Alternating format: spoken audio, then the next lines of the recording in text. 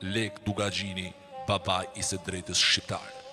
Leka kishte një pamje madhështore siç i ka hije një princi, që për nga zotësia meritonte një principat shumë më të madhe se ajo që kishte.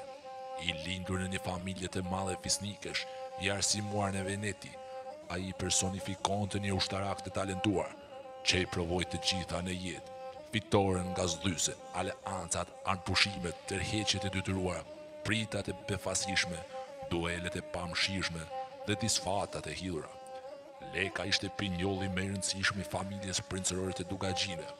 Sundimtar i shquar e energjik, ambicioz e egoist, karrierist, intrigues, sa tiran e despot, aq dhe i çiltër, bujar e fisnik, renegat e demagog, i lindur populist fenomenal, mjeshtër i bërjes për vete të njerëzve, orator i shkëlqyer e gojëmjaltë, ironik, i papërmbajtshëm e thumbus si grerëza, i sinqertë si foshnjë, por edhe dinak si dhelpër kur kërkohej e nevojshme, patron i mejdanit e pirat i fustanëve, simbol i zgjuarsisë, i virtyteve të mira E pse jo edhe i veseve të liga e nostalgjive arkaike shqiptare.